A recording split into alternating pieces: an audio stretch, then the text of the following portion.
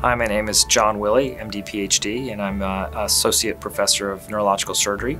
I work at Barnes Jewish Hospital and uh, Washington University St. Louis.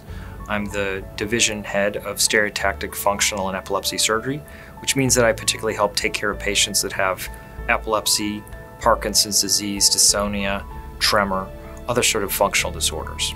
I realize when we talk about neurosurgery that that can sound very daunting or very frightening, but the fact is there have been so many advances in what we do that so many of the procedures that we now offer are minimally invasive, may require only even a day in the hospital, and can result in outcomes that the patients can see almost immediately. I take care of a lot of patients with epilepsy uh, and patients with movement disorders such as Parkinson's disease, and we have a lot that we can provide those patients. With respect to epilepsy, we have a very high chance of making patients completely seizure-free.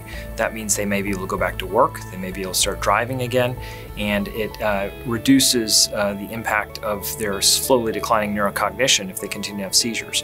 Sometimes we can get them off of medications that cause them a lot of side effects. With respect to Parkinson's disease, uh, we take care of patients that are experiencing serious functional decline. Um, they're having difficulty controlling their bodies, they're having trouble with falls, slowness of movements, inability to walk, inability to write, um, inability to experience the same things that they were once enjoying. Once medications are no longer doing the job for treating these patients, we can provide a surgical therapy that in a matter of days can provide them to be the ability to reduce medications that are causing them serious side effects and often very quickly increase their functional status and get back to the activities that they love doing.